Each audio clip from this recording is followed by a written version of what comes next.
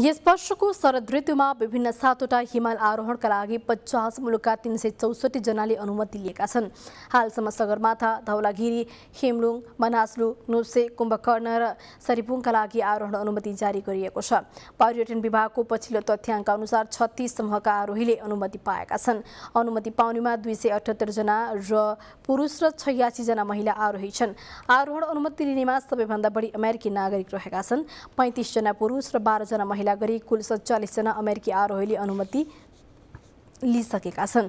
यसै गरी धेरै अनुमति लिनेमा भारत सत्ताइस इरान बाइस स्पेन बिस अर्जेन्टिना सत्र फ्रान्स सत्र रसिया पन्ध्र नेपाल बेलायत चौध चिन बाह्र इटली बाह्र जर्मनी बाह्र युए दस पोल्यान्ड दस मेक्सिकोबाट दसजना रहेका छन्।